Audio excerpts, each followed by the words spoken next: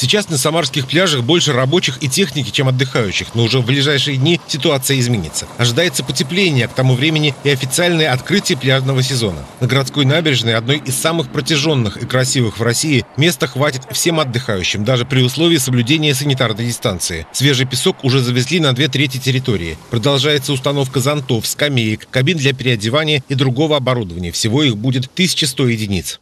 Сегодня со стороны Волги дует холодный ветер, поэтому людей на пляже не так много. Да и сама обстановка пока еще не располагает к полноценному отдыху. Здесь продолжается монтаж оборудования. В этом году большая вода отошла с запозданием, поэтому и сроки сдвинулись. Тем не менее, на этой неделе власти планируют дать официальный старт пляжному сезону. С середины июня на побережье дежурят спасатели. Дно обследовали водолазы, воду проверил Роспотребнадзор. Однако тем, кто уже приходит на пляж, стоит иметь в виду, гарантии на водные процедуры будут только после получения паспорта готовности.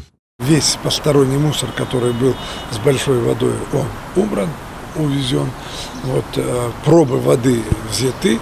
Поэтому рабочую комиссию мы предполагаем, что мы проведем 3-5 июля и официально заявим об открытии в МЧС и э, э, для получения паспорта о безопасности и открытии пляжа. Дважды в день уборка и вывоз мусора. Есть места для детей и тех, кто не умеет плавать. В районе улиц Некрасовской и Полевой со дня на день оборудуют и пляжи для инвалидов. Это эксклюзивный опыт Самары. Внедрен, чтобы даже люди на колясках могли отдыхать здесь наравне со всеми. Уже скоро на берегах будет полный порядок. У нас-то на пляже хорошо, здесь все делают, мне нравится. На этот раз поздновато, конечно, раньше ожидали, но вот из-за карантина все хорошо, чистенько. Вода тоже чистая сегодня, да, даже удивительно.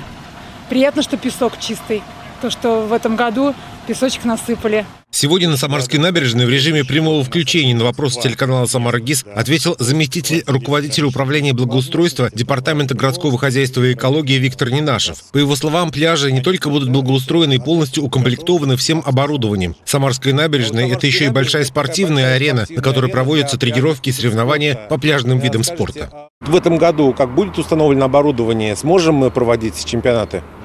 Ну, оборудование спортивное э, в дополнение к зонтикам и скамейкам в обязательном порядке устанавливается. То есть к моменту открытия пляжа будут оборудованы волейбольные площадки, футбольные для активного отдыха граждан. Жители Москвы и многих российских городов, стоящих вдали от больших рек, называют Волгу морем. По прогнозам синоптиков, в июле и августе будет немало дней с погодой за 30 градусов. А значит, самарцы смогут хорошо провести это время и показать гостям одну из самых интересных достопримечательностей города. Олег Зверев, Сергей Баскин. События.